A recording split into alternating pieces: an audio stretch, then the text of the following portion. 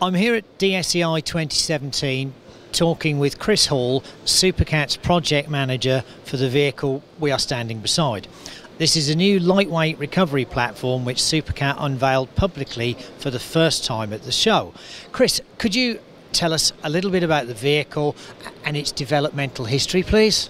Okay, um, so basically, this is a conversion program, but um, uh, constructed by the MOD. It was originally down selected um, from two vehicles, which was the MAN vehicle and this vehicle. Uh, the whole idea behind the program is to repurpose some uh, existing MOD vehicles um, to make these new vehicles and give that a new requirement. As you may well know, all the MOD has at the moment is the Bedford Light. Uh, vehicle and what we've done is basically introduced a new lightweight capability for the vehicle as the MOD has lots and lots of HMTs out there which go places which other vehicles can't recover them. So the SVR and other heavier recovery vehicles can't get into the urban environments and even the rural environments where this vehicle can. You say HMT, SVR, various other acronyms. For, for those that are not necessarily familiar with those, c- could you outline HMT, SVR, and so on? Yeah, yes, of course. Uh, HMT is Supacat's um, family of vehicles, which is the innovative suspension which we have. Uh, it's done in a 4x4 or 6x6, or even the Extenda role for um, armed forces around the world, including uh, Norway, New Zealand, Australia, and uh, indeed in UK. Um, the SVR is the MAN recovery vehicle. It's a big 8x8 vehicle which is designed for pulling um, vehicles of it similar to its own weight of about 25 tonnes and some of the A vehicles as well. This is um, meeting that niche which is needed to get everything which is below that, uh, which can get, as I said before, to the urban environments and the rural environments which that vehicle just can't get to, just, just purely because of its size and its weight class. And you say the competition was run. When did that start, and and uh, who were the competitors, and and whereabouts are you in the competitive process now? Okay, uh, so in uh, late 2014 there was a program, uh, program run. Um, MAN and ourselves were selected to be the, the two people, people putting forward uh, a response to a requirements document.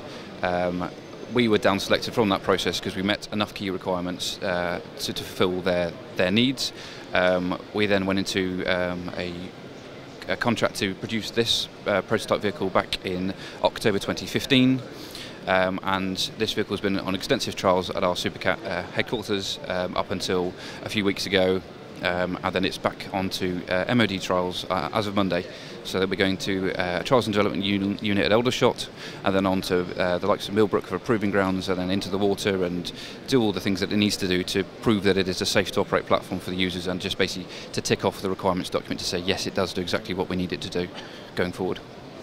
Chris, could you outline some of the recovery capability of the platform for us, please? Yeah, certainly. Um, basically, this vehicle is designed to recover up to a Jackal 1 um, vehicle, which is about 7.5 tonnes. Uh, what we've been able to do is, through our uh, our design process, we've highlighted ideas and, and, and ways in which we can uh, utilise something which we've called Superlift mode, which has changed that from 3.5 tonnes to about 6.2 tonnes by just some changes to the way in which recovery is done. That's a, a patented process now through the Superlift.